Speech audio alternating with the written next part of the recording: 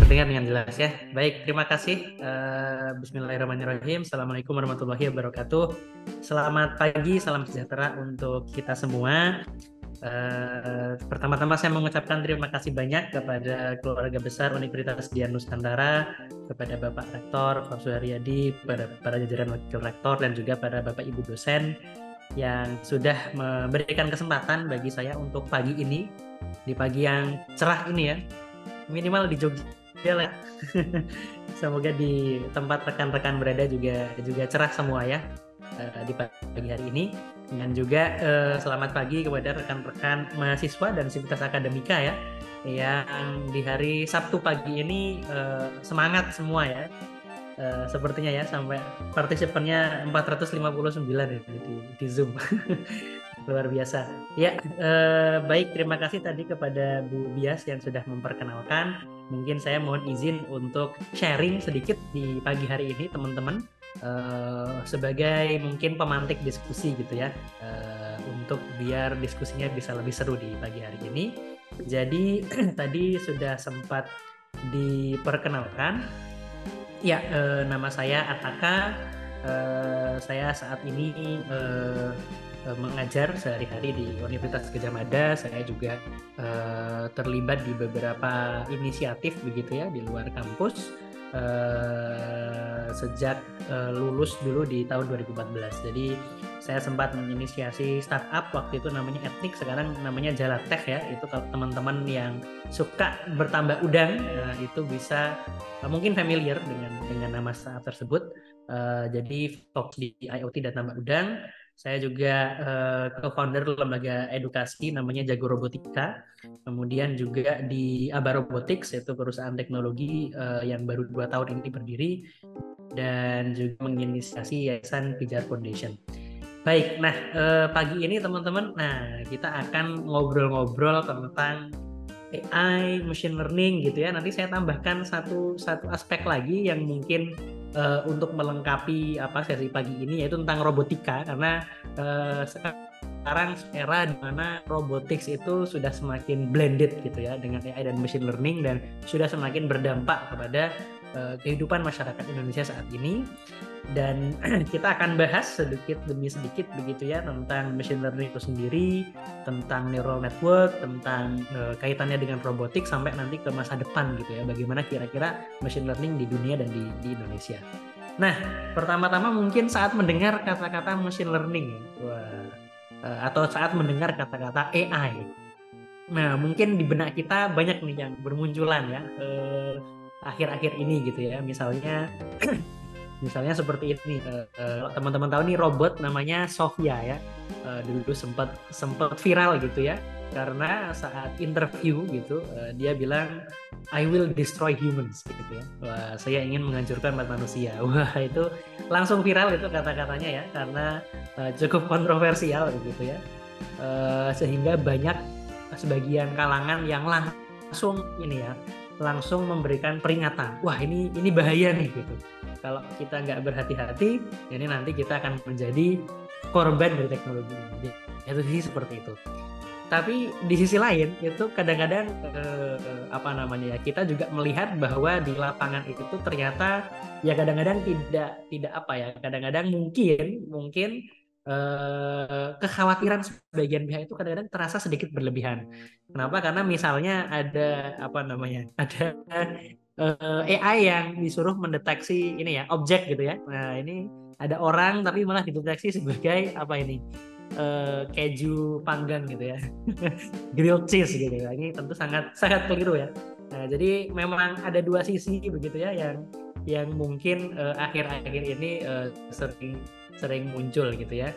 Nah saat mendengar kata-kata machine learning, nah apalagi ini ya sekarang machine learning ini menjadi salah satu bidang yang juga sangat banyak dicari di perusahaan teknologi. Uh, jadi kalau ditanya kamu ngerjain apa gitu ya, oh saya ngerjain machine learning. Wah itu kalau orang denger, orang awam ya, wah mungkin langsung mikirnya, oh ini bikin ini nih, bikin mesin yang bisa belajar sendiri nih. Wah mesti bentuknya kayak robot aneh gitu ya. Terus uh, teman kita mungkin ya yang yang bidangnya bukan machine learning itu ngiranya kita ini ya apa namanya mencolokkan USB ke dalam otak gitu. Digambarin jadi kayak apa namanya bisa mentransfer pengetahuan begitu ya. Nah kalau sesama ini computer science atau IT gitu ya misalnya ya wah langsung mikirnya wah ini banyak duit nih. Bercandanya gitu sekarang ya karena machine learning dicari di mana-mana gitu ya banyak duit nih. Atau kalau bos kita gitu ya wah kita ini kayak uh, apa namanya kayak hacker gitu ya. Nah kalau kita itu kadang-kadang merasa juga wah ini, ini bidang yang yang sulit nih. Wah saya saya cukup jenius nih bisa bekerja di bidang ini gitu ya. Nah padahal ternyata kenyataannya cuma pakai library ya. Ya ini sedikit joke gitu ya tentang apa namanya uh, istilah machine learning akhir-akhir ini. Tapi ini menunjukkan teman-teman bahwa seperti tadi sempat disinggung oleh Pak Rektor juga ya bahwa memang AI dan machine learning ini berkembang sangat pesat dalam beberapa dekade terakhir. Nah, sekarang kita coba uh, diskusi secara ini dulu ya, back to basic gitu ya, tentang machine learning atau pembelajaran machine itu apa, AI itu apa gitu ya. Karena sering ada kesalahpahaman uh, di, di masyarakat. Jadi uh, tidak sedikit orang-orang yang saya temui itu yang mengira bahwa semua robot itu pasti AI gitu ya. Atau semua robot itu pasti pakai machine learning atau AI itu sama dengan machine learning gitu ya. Nah, itu itu sering-sering e, bercampur baur begitu ya istilah-istilahnya. Nah, jadi kalau uh, machine learning itu idenya adalah uh, bidang di mana komputer itu atau mesin gitu ya, itu memiliki kemampuan untuk belajar tanpa diprogram secara eksplisit. Nah, jadi itu yang membedakan machine learning dengan uh, dengan AI yang lain. Jadi AI itu lebih luas dari machine learning, teman-teman. Jadi kalau AI itu uh, apa namanya? proses memproses informasi gitu ya. Uh, yang menghasilkan keputusan yang terinspirasi dari kecerdasan manusia. Nah, dari kecerdasan manusia. Jadi sangat luas sebetulnya. Uh, kalau teman-teman mungkin yang bidangnya IT ya pernah dengar misalnya apa decision tree gitu ya. Nah itu termasuk contoh AI gitu ya. Nah, tapi machine learning itu lebih sempit. Jadi kalau kita bikin apa namanya diagram gitu ya. Nah, AI itu sangat luas gitu ya. Termasuk yang knowledge base sekalipun seperti decision tree gitu ya yang berdasarkan pengetahuan eksplisit dari expert itu termasuk AI. Tapi machine learning itu lebih sempit. Nah, machine learning itu lebih sempit. Jadi di machine learning itu eh, mesinnya diberi kemampuan untuk belajar tanpa diprogram secara eksplisit. Jadi dia bisa belajar dari data Nanti kita akan lihat ya beberapa contohnya ya. Dan ini lebih spesifik lagi ada namanya representation learning dan yang lebih spesifik lagi yang yang sangat ramai ya belakangan adalah deep learning gitu. Nah, di idenya seperti itu. Jadi dia bisa belajar uh, belajar dari data. Jadi gampangnya itu karena machine learning itu monkey see, monkey do gitu ya. Jadi uh, si robot atau si mesinnya itu ngelihat atau dikasih contoh terus dia akan melakukan. Nah, sejarahnya sangat panjang teman-teman. Jadi ini ini saya capture tahun 2018 kayaknya ya ini ya. Cuma sampai 2017 sekarang udah lebih panjang lagi. Apalagi sekarang ada generatif AI ya eh, large language model dan seterusnya. Tapi dulu pertama kali nah itu diawali dari uh, namanya Alan Turing. Nah, kalau teman-teman suka nonton film ya ada film namanya The Imitation Game kalau nggak salah ya. Nah itu yang membintangi uh, siapa? Benedict Cumberbatch ya. Nah itu dia memerankan tokoh tokoh nyata namanya Alan Turing, uh, beliau uh, alumni Cambridge gitu ya, yang dulu berjasa memecahkan kode uh, apa namanya kode rahasia militer Jerman saat perang dunia. Nah si Alan Turing ini yang pertama kali apa namanya ya me, menginisiasi atau me, membayangkan gitu ya membayangkan masa depan dengan artificial intelligence gitu dengan computation kemudian berlanjut uh, panjang ya ada machine learning teori ada chatbot segala macam tapi ternyata tidak mulus-mulus banget. Jadi tahun 80-an itu sempat ada namanya winter of AI ya. Winter itu musim dingin. Jadi karena waktu itu semua orang sempat berlomba-lomba di situ gitu ya.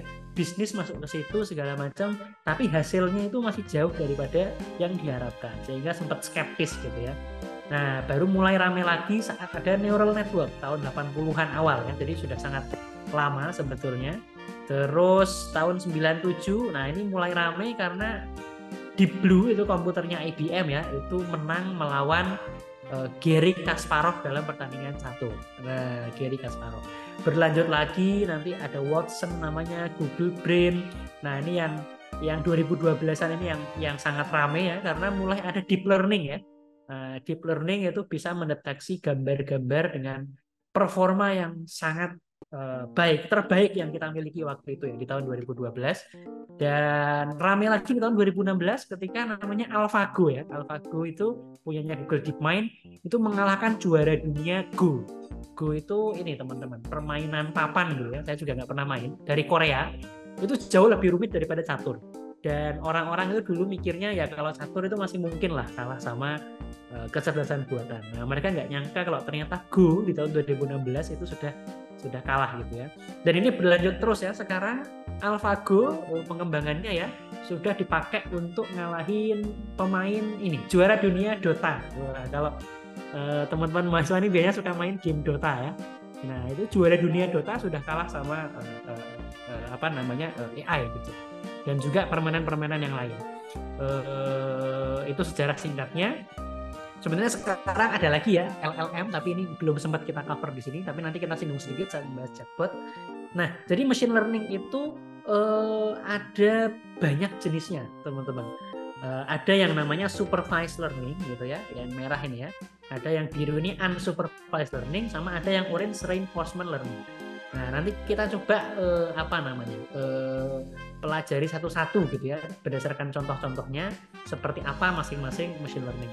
Jadi kalau supervised learning itu teman-teman itu mirip kayak kita ngajarin bayi nama-nama benda gitu ya. Jadi misalnya kita uh, ngajarin uh, bayi, oh ini gambar apel gitu ya. Sambil nunjuk apelnya. Ini gambar sepeda. Nah, nanti lama-lama bayinya tahu apel, sepeda gitu ya. Nah, ini namanya supervised learning. Nah, poinnya di mana? Poinnya adalah yang membedakan supervised learning dengan machine learning yang lain, dia bisa belajar dari contoh. Nah, jadi dia ada input dan output yang kita berikan sebagai contoh, nanti dia bisa belajar.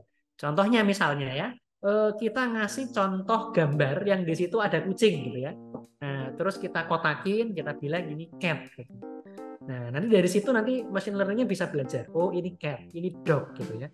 Berdasarkan contoh-contoh yang diberikan.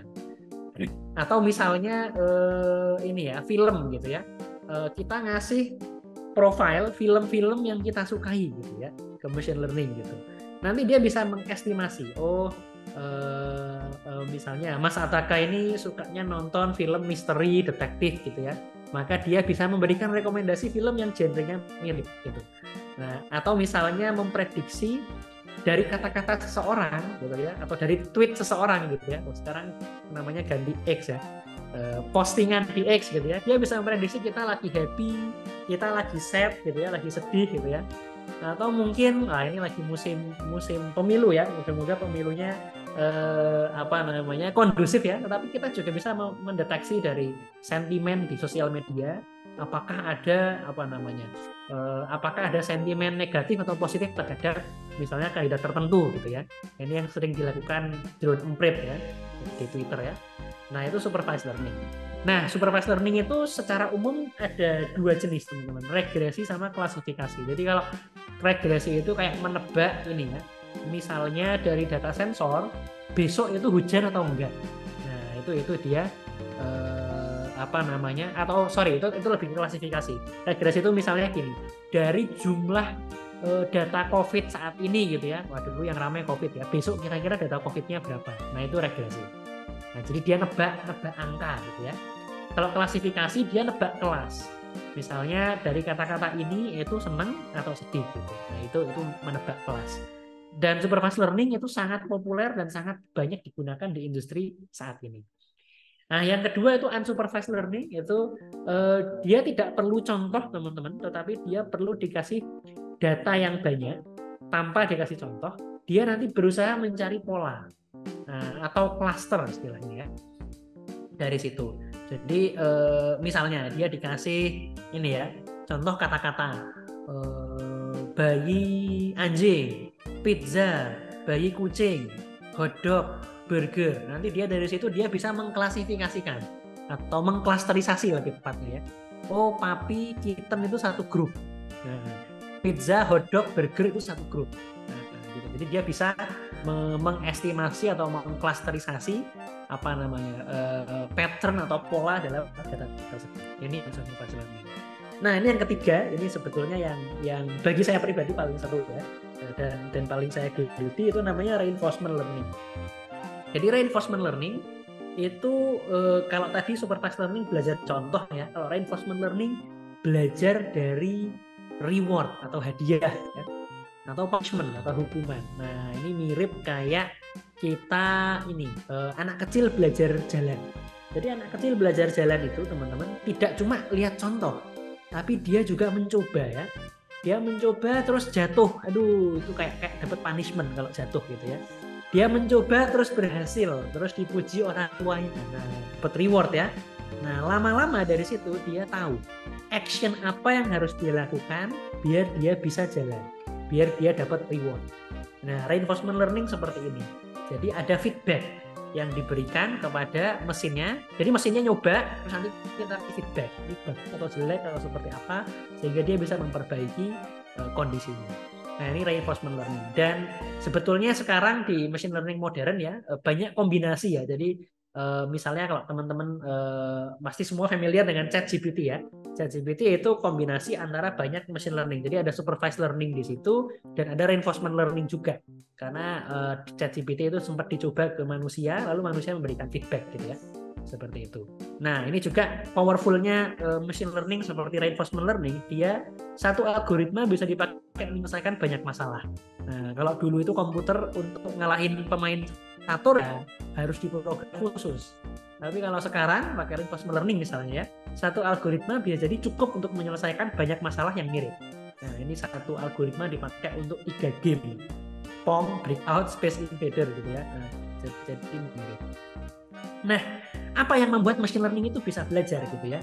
Nah, salah satu yang membuat revolusi di machine learning itu adalah yang namanya artificial neural network atau jaringan saraf tiruan ya. Jadi eh, sebetulnya eh, nggak niru-niru banget ya, karena sebetulnya di bidang neurologi eh, eh, apa namanya sistem saraf, sistem otak manusia itu masih banyak misteri di situ gitu ya. Tapi minimal prinsipnya eh, apa namanya diadopsi gitu ya, sehingga menjadi jaringan saraf tiruan yang strukturnya seperti ini. Jadi nanti dikasih input, kemudian dia keluar output gitu ya, dan nanti di situ ada bobot-bobot yang bisa kita modifikasi. Nah seperti itu. Ini namanya artificial neural network. Maaf. Ya, dan ini sangat banyak digunakan di machine learning saat ini di berbagai bidang. Kalau tadi saya sebut ada supervised learning, unsupervised learning, reinforcement learning. Di era modern ini hampir semuanya menggunakan artificial neural network karena dia sangat bagus untuk me, apa namanya memetakan pola dari suatu input menjadi suatu output. Nah, dia sangat bagus di situ uh, apa namanya uh, namanya itu function approximator ya nama teknisnya ya. Jadi dia bisa memprediksi pola ataupun uh, nilai gitu ya. Ups sorry. Uh, itu artificial neural network. Cuman memang uh, apa namanya uh, cukup menantang ya karena dia butuh data yang banyak. Nah, bagaimana dia bisa bekerja? Caranya itu sebetulnya cukup simpel, teman-teman. E, prinsipnya ya, meskipun kenyataannya tidak sesimpel itu. Caranya pertama dia ada input, lalu dia keluarin output ya namanya forward propagation dari input menjadi output. Nah nanti dari output tersebut kan kita punya contoh ya kalau supervised learning ya inputnya begini, gambarnya begini, mestinya jawabannya kucing, bukan anjing. Nah kalau jawabannya masih salah nanti di, di, dibandingkan dengan jawaban yang benar nanti kita mendapatkan yang namanya loss atau selisih ya antara uh, jawaban yang benar dengan jawab yang uh, tidak benar. Nah nanti jawab dari loss itu di backward propagation ya dipakai untuk memodifikasi apa namanya bobot-bobot yang ada di dalam sini sehingga harapannya di cycle berikutnya tebakannya jadi lebih benar gitu ya. Nah kemudian 2012 ya mulai populer namanya deep learning. Jadi beda sama artificial neural network biasa kalau deep network itu jaringannya banyak banget di dalamnya. Hidden layernya istilahnya ya. Itu makanya deep dalam gitu ya. Dan dia sangat powerful ya. Dia bisa memprediksi banyak sekali uh, use case gitu ya. Tetapi memang butuh contoh yang banyak. Karena kan bobotnya semakin banyak ini ya semakin jelimet gitu ya kalau kata orang Jawa. Sehingga contohnya juga harus lebih banyak. Nah sekarang saya ingin cerita sedikit tentang kisah sukses ya. Wah ini uh, sebenarnya ada banyak ya di industri yang sukses dalam menerapkan AI dan machine learning. Uh, hampir semua big company saat ini menerapkan text processing ya. Google, uh, uh, Baidu gitu ya, Bing. Bahkan sekarang dengan large language model ya eh, teman-teman bisa apa namanya menggunakan uh, chatbot untuk apa namanya mencari informasi ya. Misalnya Google Bard gitu ya bard.google.com atau Bing. Bing itu sudah terkoneksi OpenAI gitu uh, dengan ChatGPT dan lain-lain. Semua berlomba-lomba membuat chatbot yang yang bisa digunakan untuk memproses teks gitu ya. Ada juga image processing ya memprediksi orang gitu ya mendeteksi ini mukanya siapa gitu ya atau ini objek apa. Terus speech processing ya memahami pitch atau kata-kata gitu ya yang bentuknya suara.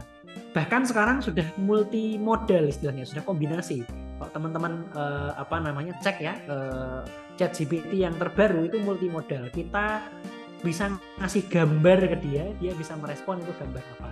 Atau kita minta digambarin sesuatu sama dia, dia bisa memberikan gambar yang kita mau. Jadi nggak cuma text to text saja, tapi text to image atau image to text dan seterusnya. Jadi sudah sudah sangat sangat fleksibel. Nah ini saya mau kasih contoh ya, kasih contoh kisah sukses gitu ya. Nah ini sebenarnya belum ada chat GPT waktu itu sudah sudah dipakai di Duolingo. Sekarang pakai chat GPT lebih powerful lagi. Uh, jadi kalau teman-teman tahu ada aplikasi uh, apa namanya belajar bahasa namanya Duolingo ya Duo, harusnya gini cuma satu ini saya typo ya. Duolingo ini sangat menarik kalau teman-teman bisa belajar bahasa macam-macam gitu ya. Jadi di Duolingo ini isinya banyak sekali uh, uh, AI dan machine learning yang digunakan. Misalnya ya, berdasarkan apa yang kita tahu, jadi di Duolingo ini nanti kita bisa menjawab pertanyaan bahasa Inggris yang ini apa. Kalau seperti ini kalimatnya lengkapnya gimana gitu ya. nah nanti dari situ dia bisa memprediksi profil kita itu seperti apa. Nah, misalnya profil kita, oh saya itu sering salah di kata-kata ini, Faisen, Disen, wah saya juga nggak tahu itu artinya apa ya, Agisen gitu ya. Nah, jadi saya bisa menguatkan di kata-kata itu. Kita bisa minta contoh di, di situ. Itu namanya space repetition ya. Jadi berdasarkan history dia bisa memprofile kita seperti apa. Terus misalnya ada fitur namanya bird brain ya. Bird brain itu bisa mengatur level kesulitan gitu ya. Uh, jadi dia bisa memprediksi, oh uh, Mas Ataka ini belum bisa kalimat yang terlalu sulit gitu ya. Nah dia bisa memprediksi dan akhirnya dia bisa memberikan soal kita yang tidak terlalu sulit. Karena memang kalau soalnya terlalu gampang kan orang bosen ya. Tapi kalau orang terlalu sulit juga bingung, nanti nggak belajar-belajar. Nah dengan fitur ini dia bisa memberikan level kesulitan yang dianggap pas. Gitu ada lagi namanya active learning ya. Jadi ketika kita melakukan kesalahan, dia berusaha melihat mencari pola dari kesalahan tersebut. Misalnya ya, uh, translate the sentence, you are very tall gitu ya. Terus kita pakai ini bahasa Spanyol gitu ya. Nah, ternyata kita salah nih. Harusnya yang benar itu S, kita pakai RS gitu ya. Nah, R sama S itu kayaknya ini kayak the gitu ya di bahasa Spanyol ya. Nah, nanti dia kasih penjelasan. Oh, R sama S itu bedanya ini. Jadi dia bisa mencoba mencari pola, kita itu kemungkinan salah pahamnya di mana. Nah, itu active learning. Ada lagi namanya bandit ya. Bandit ini bukan penjahat ya, tapi jadi dia algoritma yang bisa eh, namanya bisa memberikan action yang paling tepat gitu ya. Eh, dalam hal ini notifikasi jadi dia eh, kalau mungkin teman-teman juga ini ya pernah mengalami di apps yang lain. Kalau kita sudah lama nggak buka apa misalnya X gitu ya, nanti muncul notifikasi tuh dari X yang isinya biasanya tweet yang lagi viral yang sesuai dengan topik yang kita ikuti. Wah, misalnya kemarin tentang pilpres gitu ya. Wah, kita lama nggak buka X, tapi kita selama buka X tuh sukanya buka pilpres. Nanti tiba-tiba muncul tuh berita pilpres terkini. Tujuannya apa? Ya biar kita klik ya terus kita masuk lagi ke aplikasi tersebut. Duolingo juga sama. Eh, dia bisa menggunakan fitur bandit algorithm tersebut. Terus ini logistic regression gitu ya. Eh, jadi apa namanya kalau kita merasa jawaban si Duolingo-nya yang salah kita bisa memberikan masukan atau feedback nah jadi kita bisa istilahnya appeal ya kita bisa nggak sih nah, nanti dicek sama mereka kalau benar yang kita yang kita lakukan jadi dua lingkunya salah mereka bisa memperbaiki itu. Dan fitur yang lain tentu chatbot ya. Nah ini ini eh, sekarang sudah powered by um, apa namanya generative AI chatbotnya. Uh, ya ini contoh-contoh yang lain. Banyak sekali ya Duolingo itu sangat menarik Nah, sekarang ini ada contoh ya teman-teman ya. Ini salah satu project uh, chatbot yang dikerjakan di uh, saat uh, apa namanya di Pijar Foundation dan uh, sedang digunakan juga di UGM di apa namanya salah satu course online di UGM namanya Neo ya New Education Order Chatbot. Jadi dia bot yang spesifik kita beri pengetahuan tentang dunia akademik. Nah jadi dan ini terintegrasi dengan Telegram dan WhatsApp ya jadi biar chatbotnya gampang nah ini misalnya halo gitu ya. Apa yang bisa saya bantu hari ini? Nah, siapa namamu? Nah, nanti dia bisa merespon uh, maaf atas kebingungan sebelumnya. Sebelumnya saya udah nanya soalnya ya. Saya adalah Neo Chatbot. Terus teman-teman bisa nanya nih tentang topik tentang perkuliahan. Saya ingin mendaftar kuliah S3 misalnya ya. Bagaimana uh, eh, S3 dengan beasiswa itu misalnya gitu bagaimana prosesnya gitu ya. Nah, nanti dia akan memberi rekomendasi itu step-step yang perlu kita lakukan kalau kita mau mendaftar kuliah S3 dengan uh, dengan beasiswa. Uh, ini agak lama karena jawabannya panjang ya. Jawaban chatbotnya panjang. Nah, nanti muncul nih step-step yang perlu dilakukan ya. Mulai dari nomor 1 sampai nomor 8 gitu. Nggak cuman tentang uh, kuliah ya, teman-teman bisa tanya misalnya saya ingin membuat startup gitu. Uh, di bidang teknologi di Indonesia tapi saya nggak ngerti nih gimana prosesnya. Uh, harus harus ketemu siapa? Uh, nanti legalitasnya seperti apa? Nah, nanti dia bisa memberikan peta dan arahan yang yang sesuai. Nah ini ini yang sedang digunakan di di UGM di salah satu course online saat ini. Nah nanti nggak cuman nggak cuman itu, tapi dia juga bahkan bisa memberikan rekomendasi ya. Kayaknya rekomendasi videonya uh, belum saya pasang. Nah apa uniknya chatbot ini? Jadi dia itu kalau ditanya topik klien, ini ada nggak ya contohnya? Oh, kayaknya nggak saya berikan.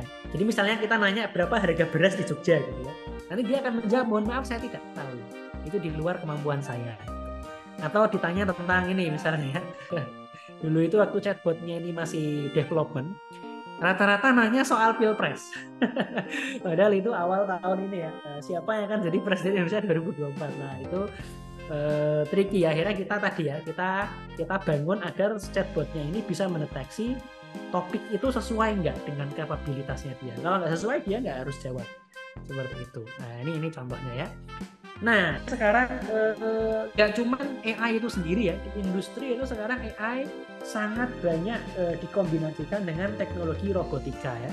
Uh, misalnya ini ya, kalau kita punya robot seperti ini ya, robot lengan gitu ya, ini masih simulasi, kita bisa memberikan reinforcement learning. Jadi kita ngajarin dia untuk bergerak ke titik tertentu. Kalau salah nanti dia dihukum gitu ya, in way bukan dihukum beneran ya, tapi dikasih skor jelek. Tapi kalau benar dikasih skor bagus dari situ lama-lama dia bisa belajar. Ini misalnya skornya jelek gitu ya. Nah, lama-lama dia bisa belajar yang diinginkan oleh kita itu apa. Nah ini lama-lama dia belajar untuk mendekati titik titik yang ini ya yang diinginkan. Nah seperti itu itu itu reinforcement learning nah ini sangat penting uh, dan banyak digunakan di robotika saat ini kenapa karena program robot itu nggak gampang teman-teman. Jadi lebih mudah kita melatih robot daripada memprogram robot gitu ya. Uh, tentu dengan segala catatannya. Tapi uh, gitu kita ingin sekarang robot itu juga bisa belajar dari contoh atau dari uh, reward yang diberikan. Ini misalnya yang bisa dipakai untuk ngajarin robot menuju jalan menuju titik tertentu gitu ya, nggak nabrak misalnya. Ini misalnya robot beroda seperti ini, ya, bisa kita uh, minta jalan titik tertentu. Nggak diprogram secara eksplisit tapi dia cuma diajari tujuanmu itu misalnya warna tertentu gitu ya. Nah diajari seperti itu. Ini bisa dipakai misalnya di robot vacuum cleaner gitu ya. E, contoh lain yang mirip ya misalnya ya e, mobile robot navigation. Oops sorry e, ini malah buka. Oh ini kayaknya videonya di Google Drive ya oke oke ini kita skip aja Nah, ada juga robot yang bisa learning dari demonstration ya. Jadi dikasih contoh, ini robotnya pendulum kebalik. Dari contoh seperti ini dia bisa menirukan. Nah, bisa menirukan tanpa tahu tujuannya. Tanpa tahu tujuannya, tapi dia cuma niru aja. Oh, ini kayaknya tujuannya biar nggak jatuh. Nah, nanti dia niru dari situ. Nah, dan ini sangat sangat berguna karena eh, tadi ya kalau kalau di pabrik-pabrik itu orang belum tentu bisa program robotnya masa kalau mau ngajarin tugas baru harus diprogram lagi kan? Sulit ya. Makanya dia memberikan contoh gitu. Terus misalnya nih learning excavation task. Oh, juga di Google Drive kita skip aja. Uh, nah ini ini yang bisa di play harusnya kan? Nah ya. Jadi kita juga bisa dengan AI, misalnya dalam contoh ini itu yang dikerjakan di Aba Robotics ya, itu mau bikin eskavator otomatis. Eskavator itu harus ngapain? Eskavator itu pertama harus mendeteksi pasir. Ini pura-puranya pasir ya, meskipun bentuknya kayak pasir. Bisa mendeteksi pasir, dia bergerak ke situ, ngambil pasirnya, terus mendeteksi truk, terus ditaruh di dalam truk. Nah, ini yang sudah kita uh, coba terapkan ya di, di eskavator. Jadi dia mendeteksi pasirnya di mana. Oh, di sini ada pasir, contohnya gitu ya. Dia akan bergerak ke situ. Nah, kemudian dia akan menguruk ya, mengambil pasirnya gitu ya. Ceritanya ya. Eh, bergerak situ ngambil pasirnya gitu ceritanya. Terus dia akan mencari ini perlu saya taruh di mana nih? Oh, ini mau saya taruh di truk gitu ya. Nah, nanti dia bisa uh, langsung bergerak menuju truk.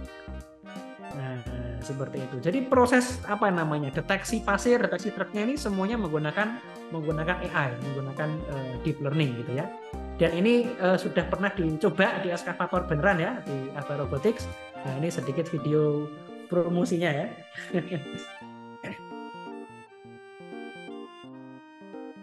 ini dicoba di Batang waktu itu uh, eskavatornya di sebuah proyek konstruksi gitu ya.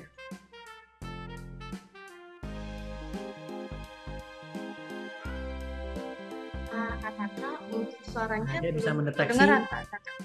oh yang ini yang masih kontrol manual ya.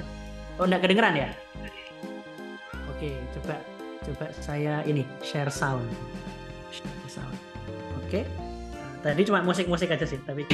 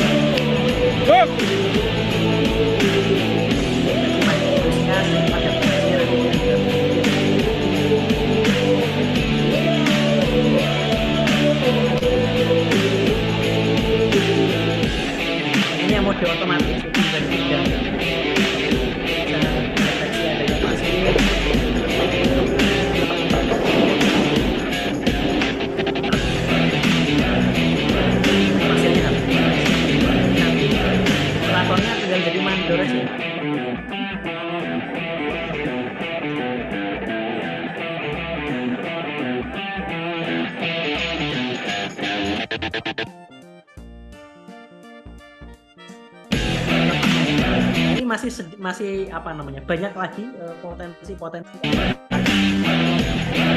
menarik teman-teman. Nah jadi intinya yang ingin saya sampaikan uh, ini mungkin waktunya uh, ini ya sedikit lagi ya. Siap sudah hampir habis slide-nya juga.